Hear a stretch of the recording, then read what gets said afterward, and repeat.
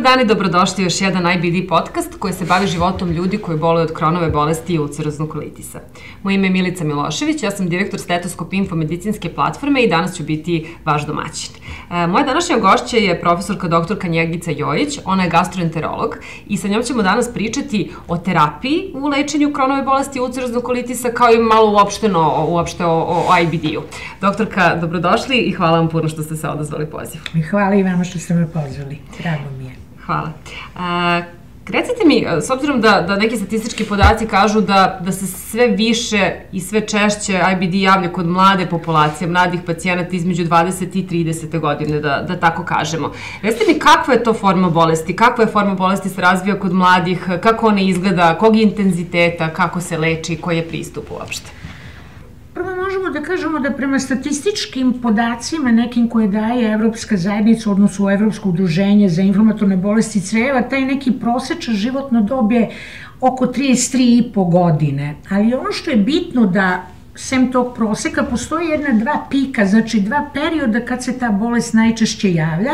Prvi period kad govorimo o adultnoj populaciji, to je između 20. i 30. godine, a drugi period između 60. i 70. godine. Naravno da ovaj period pojave kod veoma mladi ljudi između 20. i 30. godine, već pojava bolesti u tim godinama sama za sebe je rizik od vrlo teške forme bolesti, jer prvo treba da se mladi ljudi budu svesni činjenice da su oboleli od hronične zapaljenske bolesti creva, koja je nažalost doživotna i koja zahteva stalno praćenje i lečenje. I to je već samim tim jedna činjenica koja za njih predstavlja jednu vrstu opterećenja, a drugo se i pokazalo da kod tih mladih ljudi koji imaju upravo godine pojavu bolesti između te 20. i 30. godine su e, forme bolesti dosta teže. Kad mislim na težinu bolesti, onda pre svega mislim na kolokalizaciju bolesti, na proširenost bolesti, na kliničko ispoljavanje bolesti, na nalaze koje se javljaju tokom endoskopskih procedura koje se sprovode u diagnostici,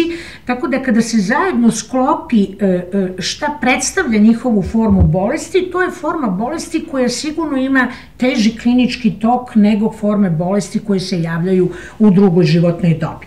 Naravno da u suštini procena i način e, tih bolesti koje postoje razlikuju se klinički ne toliko u manifestacijama između krona i ulcerozne, ali za razliku od kronove bolesti koje može da se lokalizuje, mi kažemo od usta do čmera, krono, ulcerozni kolitis je bolest debelog creva.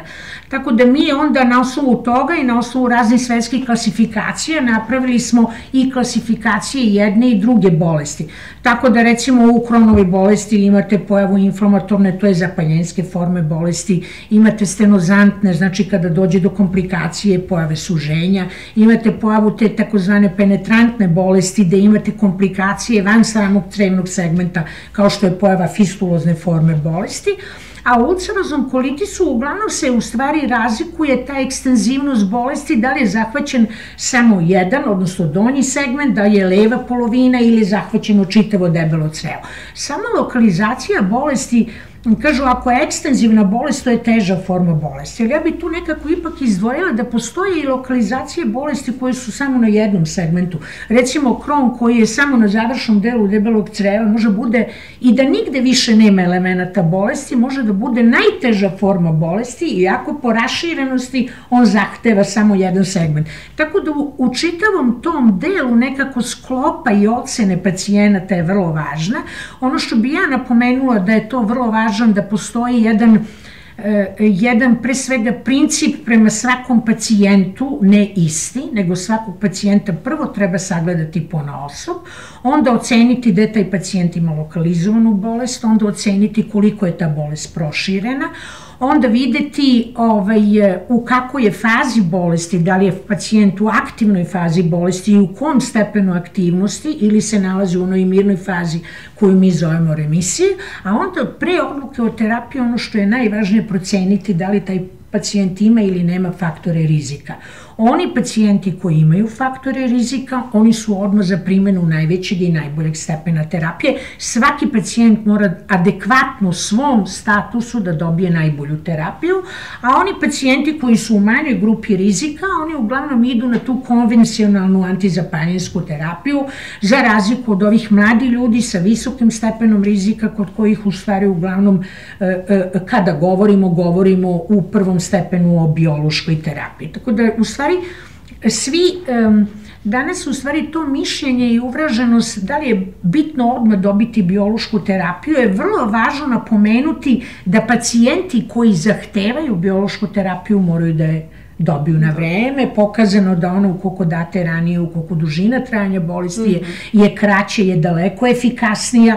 Znači, pacijenti koji se procene da trebaju dobiti biološku terapiju, vrlo je važno da oni dobiju na vreme i što pre, da bi upravo ono što se pokazalo da biološka terapija ima najveću efikasnost, To je pre svega s jedne strane kvalitet života ti pacijenata, ako razgovarate sa pacijentom, njemu je to najvažnije, a sa druge strane znači da napravite kontrolu simptoma bolesti, a s druge strane da izbegnete sve komplikacije koje predstavljaju česti odlasci u bolnici, operacije moguće kod hroničnih bolesti i dugotrajući nastanak karcinoma i svega ono što jedna trajna hronična inflamacija pravi. Tako da ta neka procena je najvažniji deo, pored onog dela prepostavljene diagnoze, ali ne treba zaboraviti da u proseku recimo prođe najmanje do dve godine, jedna do dve godine pre nego što pacijent uspostavi diagnozu, što ne znači da on za svo to vreme nema jedan inflamatorni prisutan sindrom, tako da mi negde izgubimo i taj deo, a onda ide taj drugi deo kada postavite diagnozu, da adekvatno procenite i date adekvatnu terapiju koja je personalizovana prema svakom pacijentu po nosu. Mm -hmm. Spomenuli ste biološku terapiju i sada ona se često spominje u kontekstu IBD i, i lečenja IBD-a, zašto je ta terapija toliko dobra i, i kome je namenjena, čemu služi? kako da vam kažem, biološka terapija već postoji neki 20 godina, ali naravno kako godine promiču, javljaju se sve novi biološki lekovi, cilj svakog tog leka da bude što više efikasan, a što manje, a što više efikasan i što više bezbedan, odnosno što manje toksičan. To vam je princip za svaku terapiju. Tako da vi kad imate pacijenta pred sobom, pored toga što mu odredite stepen aktivnosti, stepen težine bolesti sa tim faktorima rizika, vrlo je važno da li ima još neke druge bolesti koje svakako utiču na davanje biološke terapije i ona najvažnija stvar, pacijent mora da razume terapiju, mora da zna šta očekuje od te terapije i pacijent mora da da u stvari saglasnost za primenu svake terapije nekako se bilo dosta uvrežilo da, eto to, dobit ćete biološku terapiju i treba da budeš srećan što je dobijaš, a bez neke odluke samog pacijenta šta znači primjena biološke terapije. Uvek volim da kažem da, mislim, kad se biološka terapija da na vreme svakom pacijentu, ona ono što vi dobijete najveći jedan biofeedback od pacijenta, što je veoma važno kada govorimo pre svega o primjeni kod pacijenta koji većina njih kaže ja sam tek posle biološke terapije se vratio u ono stanje pre bolesti. Znači sve one simptome koji su njegov kvalitet života i tekako narušavale, To je onaj deo koji je pacijent u suštini sa biološkom terapijom dobio. A ono što mi gledamo kao neka stručna javnost koja se bavi tim pacijentima, nije dovoljno da pacijent samo nema svojih kliničkih simptoma on mora da normalizuje i svoje inflamatorne markere koji su pre svega iz krvi, stolice, CRP, fecal cal protectin koji su nama jako bitni u kontroli i praćenju. On mora na tokom endoskopije, mi uglavnom govorimo o kolonoskopiji, o kolonoskopskim procedurama, da ima sve parametre koji govore da je došlo ili do redukcije ili nestanka promena, naročito oni duboki promena ulceracija ili rana koji svi gledamo. To i pacijenti znaju prosto šta je cilj endoskopije endoskopije, bitno je da pored te endoskopske remisije vi imate i histološku remisiju, znači prosto redukciju tog inflamatornog e, zapaljenskog infiltrata koji se nalazi u sluznici debelog creva, recimo kod ulceroznog kolitisa. Znači, vi morate da postavite šta je cilj terapije, a onda da uspostavite kriterijume kako tu terapiju sprovesti i onda naravno da napravite plan kada pratite takvog pacijenta recimo da li je to ako je on u aktivnoj fazi bolesti, dali ste mu biološku terapiju, ta prva kontrola ide negde između 8 i 12 nedelja, onda posle toga imate tromesečno praćenja, obično pacijenti posle godinu dana, ukoliko su u dobroj fazi bolesti, imaju procenu endoskopskog, jer ta endoskopska remisija se pokazala da je u principu najvažnija zato što pacijenti koji izgube te duboke promene koje imaju tokom pre započinjanja terapije, faktički su ljudi koji će stepen remisije dobre faze bolesti mnogo duže trati, koji neće morati da se hospitalizuju i koji neće imati komplikacije bolesti. Kad je kron u pitanju, pa i ulcerozni kolitis, to je veoma važno, s obzirom da su komplikacije bolesti u najvećem procentu već pro samoj prirodi nastanka bolesti dosta česte. Znači, to kad imate tanko crevnu bolest, s obzirom da je tanko crevo nešto uže, tako da to je pro, promjena e, e, gde se oni lokalizuju na završnom delu tankog i početnog delu debelog creva, vrlo često kao komplikaciju imate suženje već na samom početku bolesti Tako da se po tome jako vodi računa da bi se prevenirale, odnosno da bi se izbegle sve te moguće komplikacije. Ali ne treba zaboraviti i ne treba reći da, biološki, e, da biološka terapija nije čarobni štapić. Ako gledate sve evidentne studije do sada koje su bili, procenat odgovora pacijenata ugrubo, ne klasifikujući da li su to grupa pacijenata koji su dobili na vreme terapiju ili su dobili kasnije terapiju. Imamo veliki broj pacijenata koji se godinama lečio standardnim antizapaljenskim terapijama i sad imaju mogućnost da dobiju biološki lek. Efekat kod njih i kod onih koji se tek diagnostikovali nije isti. Ali ako uzmete neki prosečan odgovor, on je posle godinu dana negde između 50 i 60 posto, posle godinu dana, otprilike ako govorimo o anti-TNF terapiji, koja je najduža terapija, faktički već 20 godina se daju anti-TNF lekovi, posle godinu dana 50% pacijente recidivira, znači ponovo imaju simptome i aktivnu bolest. Mi naravno u svakom tom delu, u stručnom delu postoji način kako se s tim treba izboriti. Da li optimizovati terapiju, to znači dati je češće, da li preći na drugi vid terapije, kako se to radi i odlučuje, tu ide jedna čitava grupa parametara i, i, i odluka zajednički kad se taj pacijent i kako treba nastaviti da se leči ali ono što, što se dešava u zadnje vreme kad uzmete, prvo je bila anti-TNF terapija, pa sad imate antiintegrinsku terapiju devedolizumab takođe dostupan našim pacijentima. Imate novu anticitokinu terapiju, to je ustekinubab koji je registrovan u Srbiji, ali još nije na pozitivnoj listi. Pa onda imate ovaj, um, peroralne molekule, biološku terapiju koja se uzima ovaj, na usta. I sad ako gledate evoluciju i razvoj te biološke terapije tokom ovih 20 godina, na što se uglavnom išlo, pored toga da bude bezbedna, a efikasna, je na to da se način primanja bude sve lakši i lakši, da sa venske pređete na subkutanu, a sada već na peroralne preparate, da bi neka zamisao mogla da bude da će se jednog dana pacijent lečiti s jednom ili dve tablete na dan. Već takav lek postoji registrovan i verovatno će uskoro biti i kod nas na pozitivnoj listi. Znači, postoji evolucija koja s jedne strane ne ide samo na efikasnost i bezbednost, nego i na tu komplijansu da pacijent prihvati neki lek i da za njega davanje tog leka bude mnogo da. ovaj, prijatno. Tako da, pre primene same biološke terapije jako važna dobra procena pacijenta u ovom tom momentu ne sme da ima nikakvu infekciju tome se pride jako značaj. Hronične infekcije, načito kod anti-TNF terapije je vrlo bitno da ti pacijenti nemaju tuberkulozu, makar i latentnu, imate ljudi koji nemaju ni jedan simptom, ljudi koji ako napravite radiografski snimak srca i pluća, on je potpuno uredan, znači nemaju simptome tuberkuloze, ali ako postoje ti testovi, laboratorijski testovi koji ukazuju na latentnu tuberkulozu, onda se jedno vreme početak primene biološke terapije odlaže, to je kratko, neki mesec dana, i istovremeno se daje ta terapija za latentnu tuberkulozu šest meseci.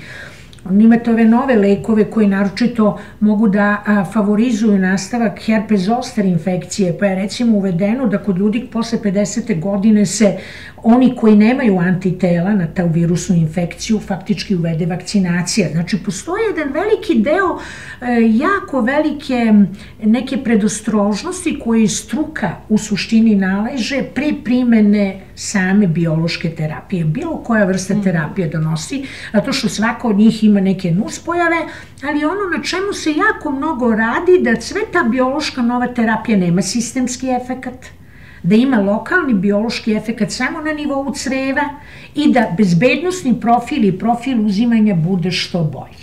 Tako da već imamo takih lekova i mi već ovde imamo mogućnost da primenimo ovaj takve lekove, tako da nekako mi se čini da ako gledate ja razvoj te biološke terapije od prvog dana kad je počela da se daje do današnjeg dana, ja ću vam reći jednu razliku koja je ogromna činjenica. Na početku gde je bila ograničena mogućnost i indikacija da su samo teške forme kronove bolesti dolazi, dobijele terapiju, nije to bilo kod nas, to je bilo svugde i u svetu i svugde se davalo. I imali smo ograničenu mogućnost za dužinu terapije. Do današnjeg dana da ako pacijentu treba biološka terapija, to je ono što ja uvek pacijentima želim da naglasim i kažem, svako kome treba on će dobiti, a dužinu dobijanja neće biti ograničena, nego a pacijentu ako treba terapija, on će dobiti. Ukoliko pacijent u jednom momentu se odluči da se prekine terapija, ona će biti prekinuta i u onom momentu kad bude trebalo, bit će mu ponovo uvedena. Ja mislim da je to jedan najvažniji deo podstreka za pacijente, I ono što se do sada pokazalo da uvođenje novog ili drugog biološkog leka je dosta efikasno kod tih pacijenata. Znači, ne slabi se odgovor ako ste vi u jednom trenutku prekinuli terapiju. Ono što moram da kažem da odluka o prekidu terapije je mnogo teža nego odluka o uvođenju terapije. Zato što vi ako sklopite sve elemente, da pacijent nema ništa na endoskopiji, da ima histološku remisiju, da je klinički dobar, da su svi laboratorijski parametri uredni, da ta stabilno stanje traje duže od šest meseci, onda i vi u razgovoru s pacijentom odlučite da tu terapiju prekinete. Da. Iskustva govore da vrlo veliki broj pacijenata u vrlo kratko vreme i ako ste sve primenili u suštini napravi ovaj ponovu aktivaciju bolesti, on će u tom trenutku opet dobiti onu terapiju koja je za njega najadekvatnija. I to mi je neka onako osnovna poruka za pacijente o odluku, jer je odluci za terapiju, jer ja sam jako puno bila e, puta e, e, u razgovoru i u kontaktu sa pacijentom koji je meni recimo rekao, izvinite, pa zar moram ja baš biološku terapiju, nisam nešto čitao jako puno o tome, tako da su u suštini i, i, i farmaceutske kuće koje u suštini ovaj, su proizvođači toga napravili vrlo lepa obaveštenja, pamflete koje mi delimo pacijentu, udruženje pacijenata je napravilo vrlo lepa obaveštenja i prevedena ono što je dalo i Evropsko udruženje za kronkolitis o bolesti, o terapiji, o mogućim delovima, ali ipak mislim da onaj razgovor pacijenta i onoga ko u suštini struče javnosti koja tog pacijenta vodi je veoma važna,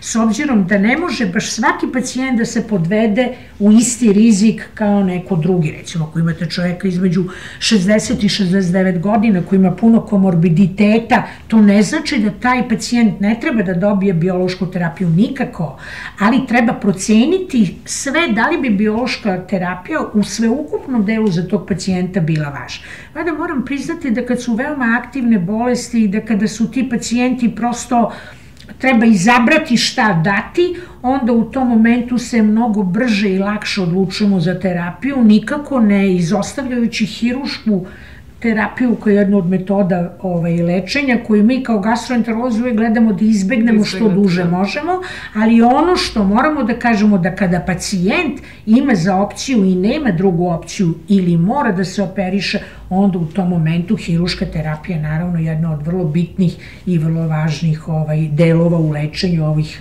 pacijenta. Da, da. Pored biološke terapije, hvala vam prvo na, na ovako opšenom objašnjenju, a, pored biološke terapije u lečenju IBD pacijenata koriste se i antiinflamatorni lekovi, imunosupresivni lekovi i sada ste spomenuli hirurgiju kao Jeste, poslednju u tom lancu. Da. A, kako se odlučujete koja terapija tako je zgodna za, za pacijenta? Konkretno? Kako da vam kažem, to odlučuje prisustvo ili odsustvo faktora rizika i stepen aktivnosti bolesti, to su klinički parametri, ovo su oni koji vi dobijete po postavljenoj diagnozi ili u momentu kad ste videli pacijenta, a onda se na osnovu toga odlečuje da će on biti samo na standardnoj mm -hmm. antiinflamatornoj terapiji ili on pripada grupi biološke terapije. Znači odmah na početku ili posle nekog perioda da ste vi dali, to je princip svugde u svetu. Vi prvo date standardnu terapiju, pa ako nema odgovora na standardnu terapiju, vi date biološku terapiju. To se zove taj postepen ili takozvani stepa pristup, izuzev kod mladih ljudi, vrlo često kod dece koji imaju jako izražene faktore rizika, onda se nekada odmah e, e, ide pre svega da se da ta prvo biološka, mi to zovemo top-down terapija, pa tek onda postepeno da se uvode ili ovaj, neki od standardnih lekova gde uglavnom spadaju imunosupresivi. Kad govorimo o standardnoj antizapaljanskoj terapiji, tu imate kortikosteroide, imate pet asat preparate i imate imunosupresivnu terapiju. Ako bi tela negde da izvojim e, imunosupresivnu terapiju, to je terapija koja se ne daje u indukciji. Znači, ako imate pogoršanje pacijenta, vi mu ne date prvo imunosupresivnu terapiju, njoj treba otprilike tri meseca da počne da deluje. Znači, to može biti lek koji ima jako važnu ulogu da održi onu remisiju ili ono dobro stanje koje ste vi postigli lekom koji ste davali u toj početnoj vrlo aktivnoj fazi bolesti. I tu je njihovo mesto jako veliko, znači za održavanje remisije nije važno da li je ta remisija postignuta standardnim imunosupresivnim terapijom ili biološkom terapijom. I druga njihova važna uloga je to je što oni imaju jako dobru, naročito u kombinaciji sa biološkom terapijom, sprečavaju stvaranje antitela na biološki lek. I pokazano da kad pacijenti dobijaju kombinovanu terapiju, oni mnogo, mnogo manje imaju napravljen antitela na taj biološki lek nego oni koji idu samo monoterapijom, znači dobijaju samo biološki lek. Od ovih standardne terapije ja moram da spomenem kortikosteroide, znate kako mi sve što radimo u održavanju i u postizanju dobre faze bolesti, to je da pacijenti što manje dobijaju kortikosteroidi. Ali oni još uvek predstavljaju prvu i standardnu terapiju u akutnom pogoršanju, zato što dovode do kliničke remisije bolesti i zato što nam daju neko vreme da vidimo vidimo kako će pacijent odreagovati i šta će dalje da bude terapija. Znači, najdostupniji su. Ako me pitate o ti standardni kortikosteroide koji se daju godinama unazad, šta je u 2020. godini napravljeno nešto novo u odnosu na tu kortikosteroidnu terapiju koja se služuje za najveći broj komplikacija i infekcije i osteoporoze i e, nus, maksimalnom brojem nus pojava koje nisu dobre ni za jednog pacijenta, napravljeni su kortikosteroidi koji se najviše oslobađaju na crevnom traktu, a vrlo malo imaju sistemsko dejstvo, svega 11%. Tako da su oni daju u nekoj blažoj do umereno aktivnoj bolesti, znači imaju blaži efekat, ali imaju mnogo manje nuspojava. A pacijenti koji imaju umereno tešku do izrazito tešku bolest, oni uglavnom dobijaju standardne kortikosteroide zato što su oni pokazali da ta efikasnost je 20% veća i jača u odnosu na te nove kortikosteroide koji se uglavnom daju kao tablete, znači na usta, za razliku od standardnih kortikosteroida koji vi u teškoj fazi bolesti dajete venski, a posle nastavljate. Cilj je da kortikosteroidi otprilike negde između 8 i 16 nedelja budu skinuti do tri meseca najviše. To je neki, to je cilj svake terapije, međutim ima ljudi koji ne reaguju na steroide, oni koji zavise od steroida i onda su kod takvih pacijenata uvodi imunosupresivna terapija. Ako i na to nema odgovora, sledeća stepenica je biološki lek. Kad su u pitanju mesalazini, odnosno 5 asa preparati, da spadaju mesalazini i sulfasalazin, oni se daju samo u ulceroznom kolitisu, a ne u kronovoj bolesti. I ono što je bitno, Njih ne treba zanemariti, blagi do umereno aktivni umer, ovaj, ulcerozni kolitis jako dobro reaguje i stepen nekog dobrog odgovora, ako vas uporedimo sa biološkim lekom je negde do 45%, imaju čak i tu endoskopsku remisiju, znači kada pogledate tu sluznicu ona je zacelila, ovaj, naročito kad se daju u kombinovanoj terapiji, znači date lek i na usta, ali date i u obliku lokalne terapije na crevu, bilo u obliku čepića ili u obliku mikrokrizmi koji se razlikuju po dužini delovanja i koji su jako dobri. Tako da bi ja, znači, blagoj i umerenoj aktivnoj fazi bolesti dala, znači, u ulceroznom kolitisu, dala bi prednost imunosupresivne terapije i kortikosteroidne, a u kronovoj bolesti obično ide u početku sa davanjem kortikosteroida, bilo da dajete ti koji imaju malo sistemsko dejstvo ili standardne kortikosteroidi, vrlo brzo se uvode i supresivi, zato što oni imaju, bilo da se radi o azotijaprimu ili metotriksatu, zato što oni imaju veoma važnu ulogu u održavanju dobrog stanja te remisije bez kortikosteroida. A sporo deluju, pa i treba dati odmah na početku da biste vi dok kortikosteroidi, što kažu, ovaj gase vatru imali vremena da ti imunosupresivi naprave neki svoj adekvatan efekt. Mm -hmm. Spomenuli ste sada metatrexat, to je jedan od najkorišćenijih lekova kada govorimo o kronovoj bolesti.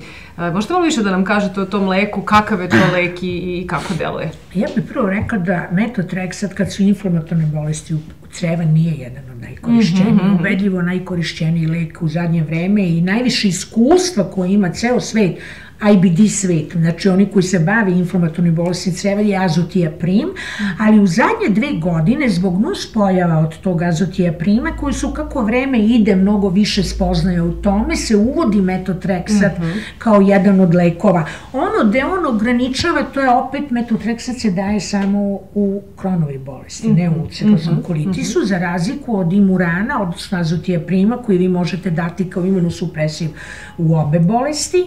Drugo, metotrexat se ne sme dati trudnicama nikako, azotioprin prolazi kroz celu trudnoću i period dojenja.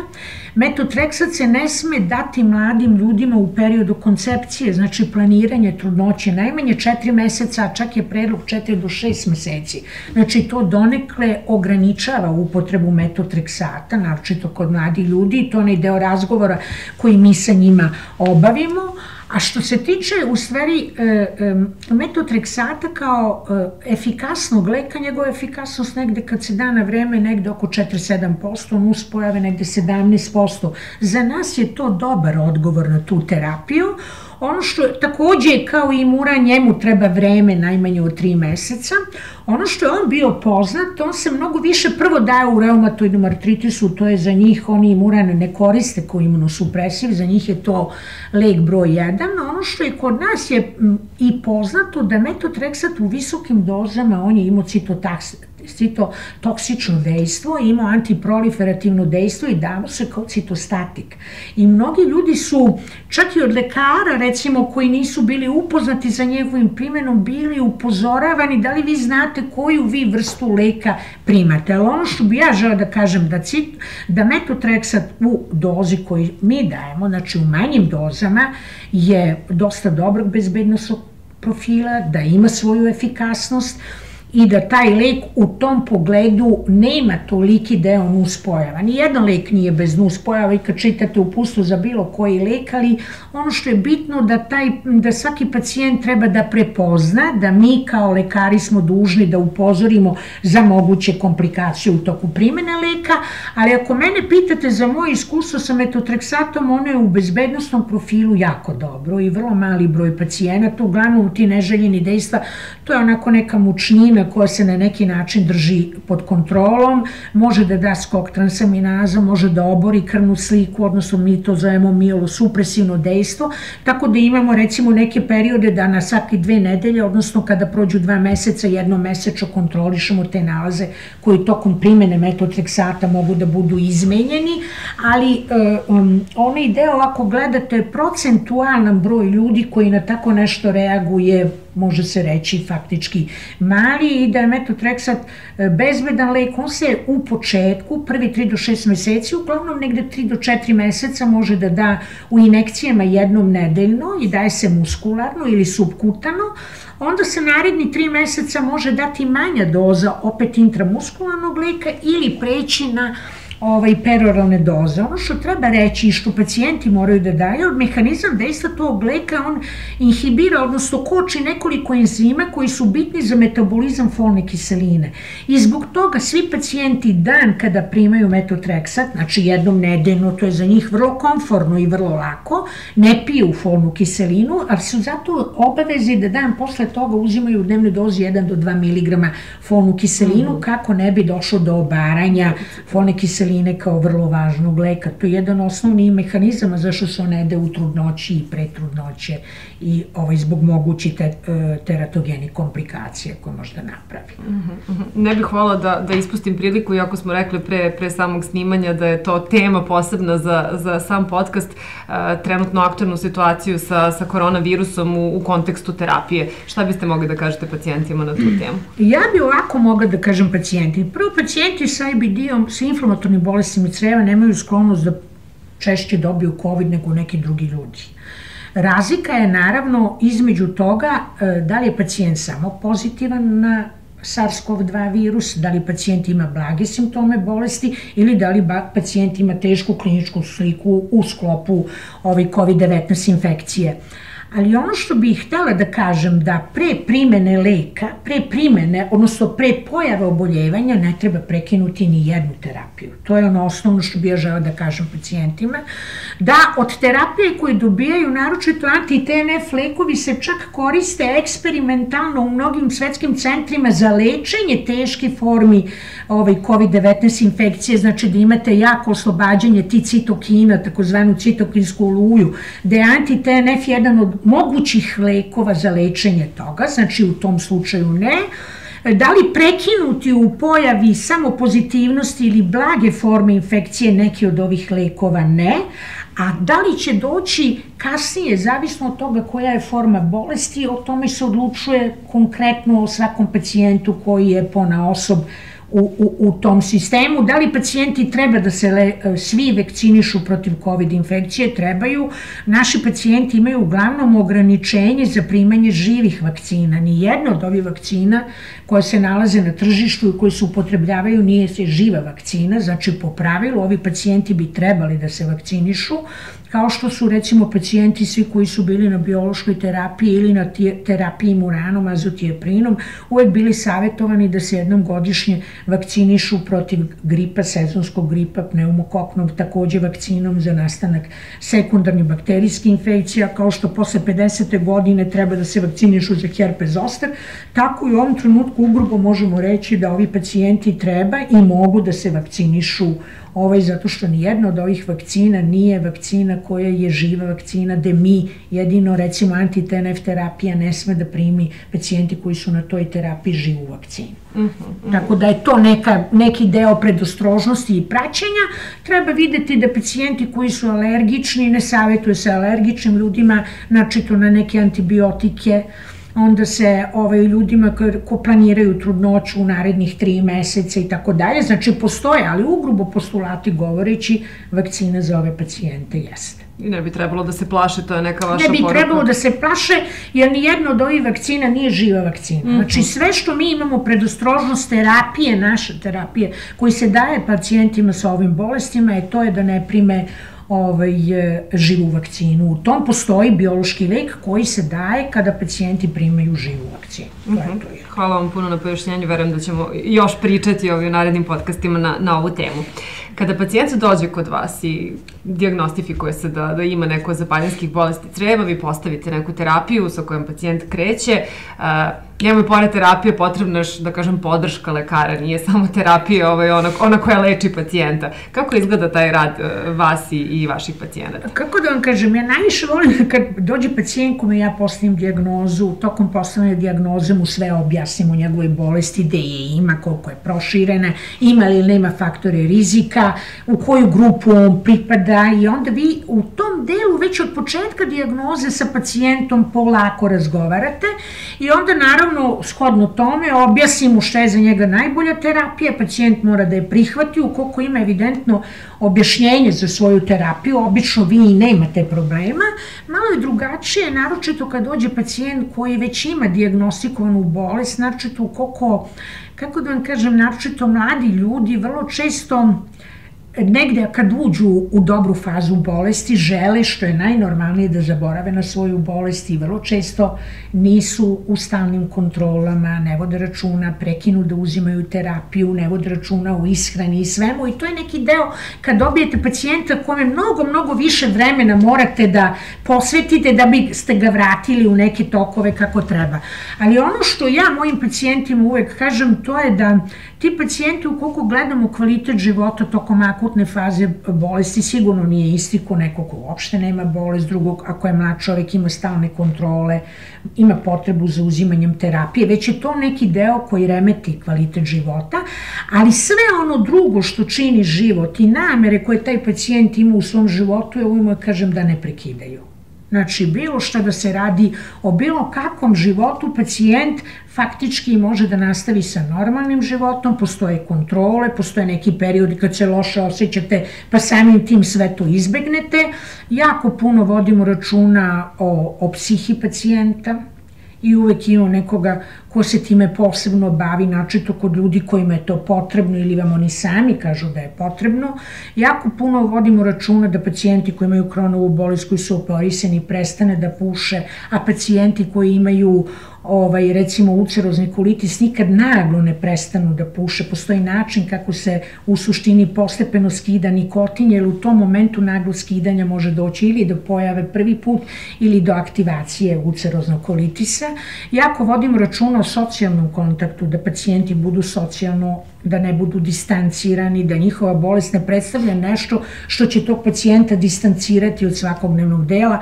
Vrlo često vam oni kažu potreba za tom urgencijom, čestim pražnjenjima i tako dalje, njega ograničava u tom socijalnom kontaktu, to je onaj osnovni deo koji treba pacijentu objasniti, a cilj terapije upravo jeste da, da takve simptome pacijent što pre izgubi, I drugi deo koji je važan, to je ono, mislim, neki normalan porodični život i neki deo koji je vezan za fizičku aktivnost. Ja jako puno svojim pacijentima, kada ne krvare, kada nisu preterano anemični, savetujem e, deo nekog dobrog fizičke aktivnosti i vežbanja svakodnevni da bi napravili neku svoju psihičku relaksaciju, ušli u dobru kondiciju, bolje se osjećali i samim tim bolesti ide tokom. Ovo nisu, ja obično kažem, ovo nisu bolesti koje su prouzrokovane psihom, nikako, ali jesu bolesti gde u suštini e, e, loša psiha ne drži dobru kontrolu bolesti u svakoj hroničnoj pa i u ovoj. I taj deo je nama jako bitan.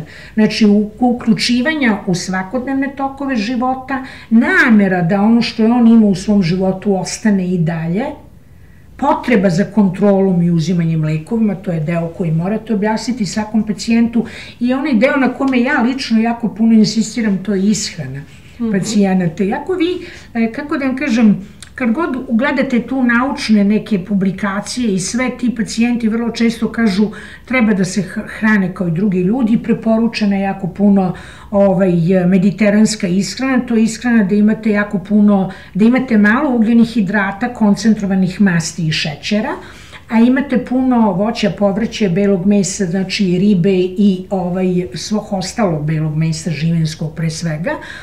Međutim, e, znate, u momentu kad imate jako aktivnu bolest i svaki, svaki deo ishrane koji produkuje gas i pravi tu distenziju creva, vama će izazvati bol.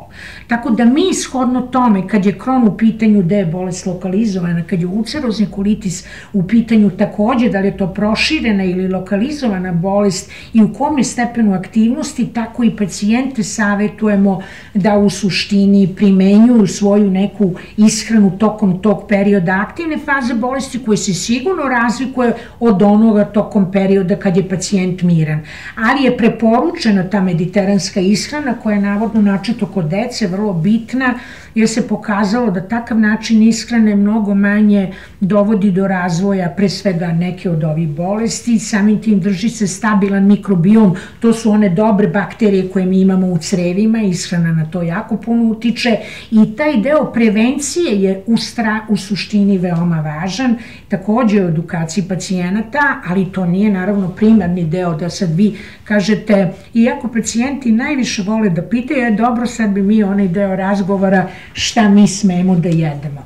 Obično onako od neke pored ti e, glavni, pokazalo se da ti pacijenti imaju, nemaju dovoljno su takozvani imaju intolerancije prema laktozi, nemaju dovoljno tog enzime, pa je mleko neko to koje pogotovo u tom periodu kada oni vama kažu da na mleko dobiju grčeve i prolive, onda im nikad ne dajemo. Ali to ne znači da oni ne mogu kiselo mleko, jogurt i na drugi način unose ove mlečne stvari koje su negde u ishrani, znači to kod mladih ljudi ipak bitne. Spomenuli ste u nekom trenutku decu i ne bih volila da, da ovaj podcast završimo, da, da se ne osvrnemo na decu koje boluju od IBD-a. Kako se razlikuje tu terapija i kako, da li se bolest uopšte razlikuje kod dece i kod odraslih? Kako da vam kažem, ja nisam pedijatar, mm -hmm. ali ono što bi mogla da govorim u, u, ugrubo za decu, nažalost, deca imaju mnogo težu formu bolesti nego odrasli. Kad kažem težu, imaju prisutne faktore rizika i s druge strane imaju ekstenzivniju, mnogo više proširenu bolest. Terapija, recimo, kortikosteroidima kod dece je jako opasna jer uspovara rast i razvoj. To je osnovni deo. Rast, razvoj i nastanak komplikacija. Znači, osteoporoza na kortikosteroidima, mogućnost spontani preloma je mnogo više izražena. Zbog toga se kod, biolo, kod, kod dece u suštini, ako imaju te faktore rizika, biološka terapija odobrava onim principom koji smo govorili, uglavnom tim top-down principom.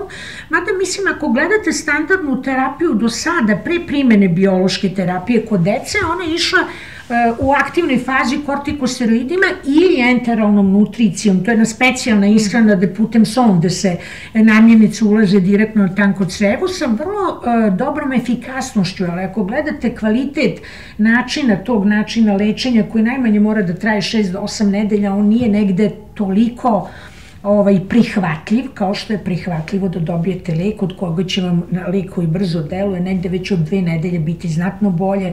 Za pacijente je najvažnije da izgube kliničke simptome. Za nas kao neko ko je bitno radi gledajući sami komplikacije i prognoze bolesti, izbegavanje hirurgije, izbegavanje nastanka invaliditeta, kako god vi uzmete, vi kad se operišete ostanete bez nekog dela i to jeste invalidnost.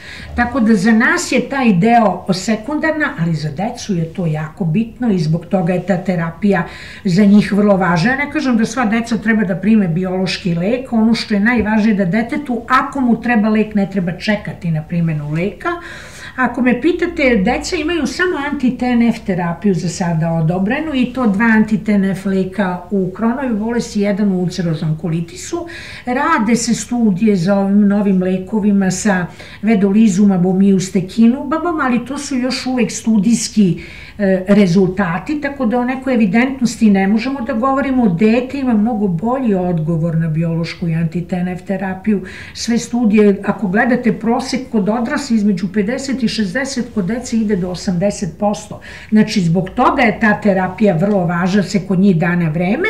Ono što je negde sporije sve to kretalo sa decom, to je zato što se čekalo da se završe studije na adultnoj populaciji, da se registruje lek, pa tek onda da se prime primeni u dečoj populaciji i možda sa već nekim registrovanim lekom da uradite studiju koja će se čisto odnositi na dečju populaciju shodno godinama starosti, prisutnim komplikacijama ili nekomplikacijom. Tako da nisu deca kako da vam kažem, lišena mogućnosti biološke terapije, nego se uglavnom čekali rezultati adultne populacije da bi ti isti lekovi se pokazali i neku određenu efikasnost ovaj, kod dece. To je onako neka razlika koja postoji. Tako da i nekako recimo kod dece više imate zastupljenu skronove bolesti i teški mm -hmm. formi bolesti, tako da samim tim je vrlo važno da ta deca dobiju na vreme i adekvatnu ovaj, terapiju, da se procene kod njih. Znate, kod odraslom čoveku nikom nije lako da ide često endoskopske procedure ili recimo na preglede magnetnom rezonancom, koja kako god nije bolna, ona ima svoje i trajanje i neki način kako se izvadi koji nije toliko jednostavan, šta god mi rekli. Kod dece upravo i pribegavamo svim tim diagnostičkim procedurama koji treba da zamene endoskopiju kad mogu, kao što je laboratorijski parametri, ne samo CRP, postoje razne genetske anomalije koje gledate da li su prisutne ili nisu i da li je on u faktorima rizika, sada postoje i razni laboratorijski testovi koji bi vam rekli da li taj pacijent u suštini pripada grupi koji će reagovati na tu terapiju. Mm -hmm. S druge strane, fekalni kalprotektin je uvek mogu, volim da kažem, to je crevni crevni CRP, To vam je cevna inflamacija, da li je prisutna ili ne. Za dete. Mnogo jednostavnije dati stolicu, on korelira sa endoskopskim nalazom, sa kliničkim, sa laboratorijskim, to je daleko lakše nego uraditi endoskopiju kad mora, ona se radi, ali da izbegnete tu proceduru, magneta rezonanca se kod dece koristi jako puno, znači to i kao i kod adultnih i mladi ljudi, zato što nema zračenja zato što tanko crevo morate videti na taj način. To je jedina metoda morfološka koju možemo da koristimo. Kako kod je neprijatna zbog tog čišćenja i svega što tu i pijenja nekih kontrastnih sredstava u tokom predsa, ona nije bolna procedura. Da, da. Tako da tu uvijek kod dece pribegavamo i kod adultne populacije takođe, ali kod dece naročito da bi izbegavali česte endoskopije koje su uvek rade pod opštim anestezijom kad su u pitanju deca. Za sam kraj ja bih volila da pacijentima pošaljete poruku ovaj, kako treba da, da, da, da odlučuju vezano za terapiju, ste rekli da oni igraju tu glavnu ulogu, da kažem, u, u, ne glavnu, ali, ali bitnu ulogu u odlučivanju ovaj, o tome koja će se terapija primeniti i kako treba da imaju odnos prema upravo lečenju. Pa, odnos prema lečenju, kako da vam kažem, moraju da imaju jednako kao odnos prema svojoj bolesti, moraju biti odgovorni. Kako god mi kao neko ko te pacijente leči, vodimo računa da svakog pacijenta relaksiramo, stanemo u grupu da to nije tako strašno, da to zahteva kontrolu. U odluci za terapiju pre svega je, naravno da je najvažnije, kad procenite sve i objasnite pacijentu šta mu predlažete terapiju, to pacijent mora da prihvati. Mislim, e, taj deo kontakta e, e, stručnog dela, znači neko ko vodi pacijenta i pacijenta je veoma važan, jer taj pacijent vama mora da veruje. Drugo, mora da mu kažete sve objektivne parametre i za i protiv i onda da zajednički odlučite o toj terapiji. Ono što ja smatram da kada napravite dobar kontakt sa pacijentom, onda tu više nema problema. Znači, taj deo sad, pogotovo u vreme COVID-a i svih ovih infekcija, to vrlo često kad pacijenta vidi vidite, vi posle to možete da komunicirate ili putem telemedicine ili putem e-maila. Ja uvek kažem pacijentu da je mnogo da je mnogo bolje da pošalje e-mail i pita me nešto su ovo sistemske bolesti, da li da to primi, šta mu se desilo, gde da ode, šta da uradi, nego da recimo se napravi taj deo bez kontakta i onda da taj deo negde može po tog pacijenta da pogorša samu bolest. Znači, pogotovo kod hronične bolesti to je jako bitno.